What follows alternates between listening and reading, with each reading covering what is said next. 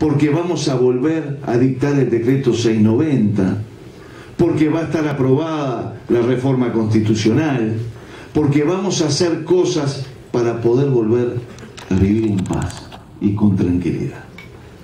Algunos nos han preguntado también, ahora cuando veníamos llegando, che, ¿y la política económica? Y yo creo que es bueno que la tengamos clara. Uno me dijo, un periodista, ¿cuál es el objetivo de su política económica? Digo, son dos, no uno. El primero, el de siempre, reducir la pobreza. La mejor política económica la que tiene por objetivo reducir la pobreza.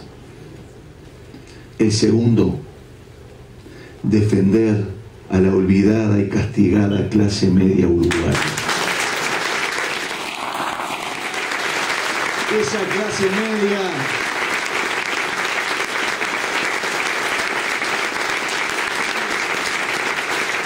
esa clase media, orgullo del Uruguay, esa que se levanta todos los días a trabajar, esa que cumple las normas, que paga sus impuestos, que se, que se esfuerza y mientras tanto mira al costado y ve como gente no hace lo mismo.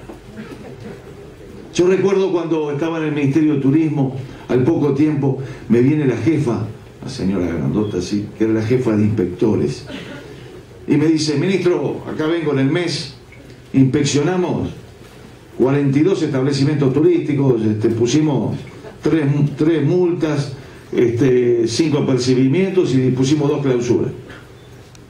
Le digo, ¿esos estaban en la legalidad o estaban en la ilegalidad?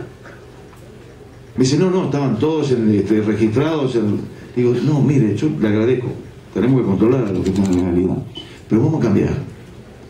En vez de traerme 42 que están en la legalidad inspeccionados, tráigame 42 por mes de los que no están en la legalidad.